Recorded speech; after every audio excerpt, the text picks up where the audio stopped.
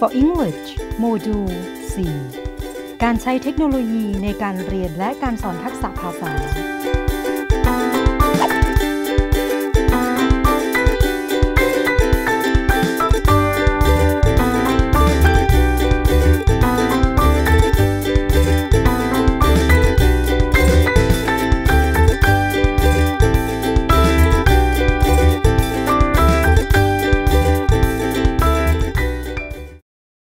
ลยุทธ์การเขียนภาษาอังกฤษ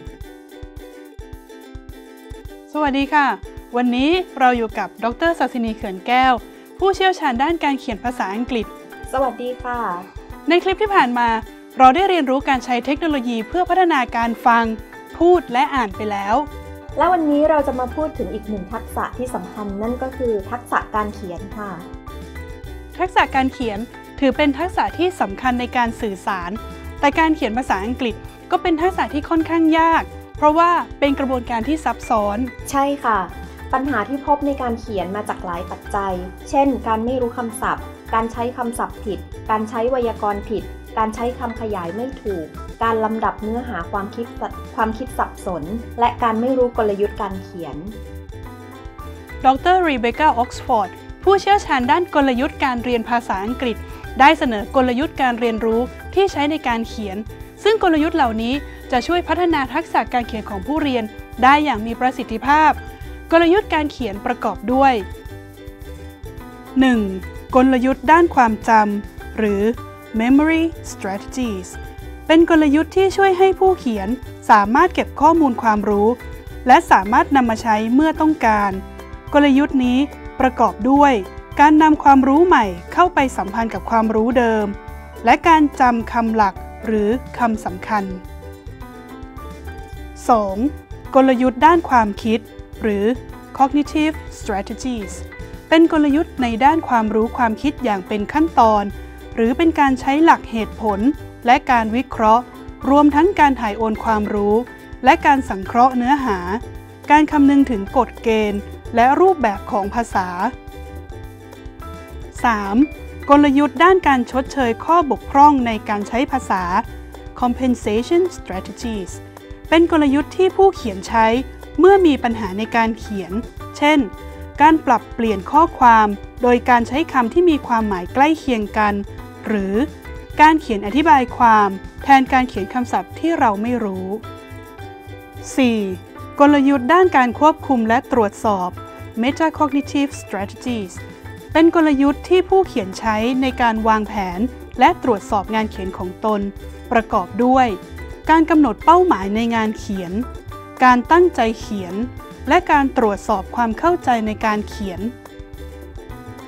5. กลยุทธ์ด้านจิตพิสัย affective strategies เป็นกลยุทธ์ที่ใช้ในการควบคุมตนเองด้านอารมณ์ และทัศนคติ รวมทั้งเป็นกลยุทธ์ซึ่งส่งเสริม หรือพัฒนาความเชื่อมั่นของผู้เขียน เช่น การลดความวิตกกังวล และการให้กำลังใจตนเอง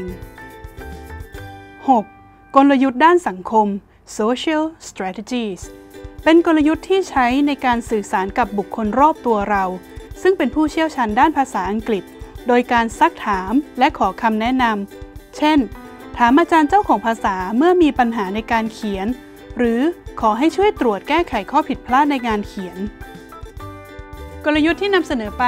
เป็นกลยุทธ์ที่สำคัญที่ผู้สอนต้องช่วยส่งเสริมให้ผู้เรียนได้ฝึกและพัฒนาการใช้กลยุทธ์เหล่านั้นในการเขียนค่ะ ค่ะ จากการวิจัยในต่างประเทศพบว่าผู้เรียนที่เขียนภาษาอังกฤษได้ดี จะใช้กลยุทธ์ในการเขียนมากกว่าผู้เรียนที่เขียนไม่ค่อยเก่ง ดังนั้นผู้สอนต้องให้ความสำคัญกับการฝึกกลยุทธ์ในการเขียนให้มาก ๆ ค่ะ อาจารย์คะ เมื่อพูดถึงผู้เรียนเนี่ย เราจะทราบได้ยังไงว่า เขียนได้แค่ไหนถึงจะเรียกว่าเขียนเก่ง และแค่ไหนถึงจะเรียกว่าอ่อน ค่ะ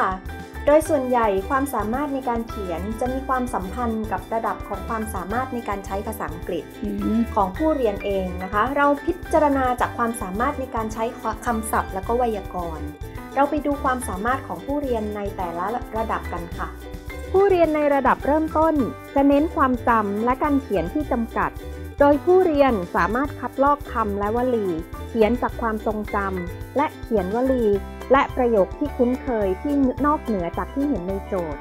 กิจกรรมการเขียนสำหรับผู้เรียนกลุ่มนี้ได้แก่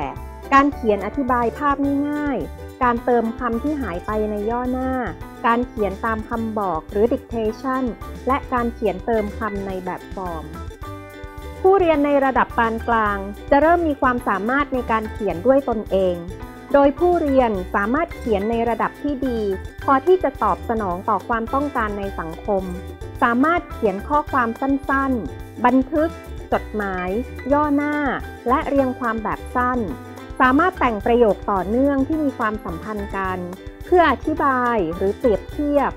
สามารถเขียนเล่าลำดับเหตุการณ์ และสามารถเขียนเพื่อจำแนก สรุป หรือทำนาย กิจกรรมการเขียนสำหรับผู้เรียนกลุ่มนี้ได้แก่ การเขียนอธิบายจากภาพประกอบ โดยเป็นการเขียนที่ยาว และซับซ้อนกว่าในระดับเริ่มต้น การเติมประโยคในเนื้อเรื่อง การเขียนอธิบายความ หรือเล่าเรื่องราว และการเขียนเรื่องจากการสัมภาษณ์ หรือการอ่านบทความ ผู้เรียนในระดับสูงจะมีความรู้และความสามารถทางภาษาในระดับดีมาก โดยผู้เรียนสามารถเขียนข้อความทางสังคมอย่างเป็นทางการมากขึ้น สามารถใช้เครื่องมือเชื่อมความ หรือ discourse marker เพื่อให้เรื่องที่เขียนประติดประต่อกัน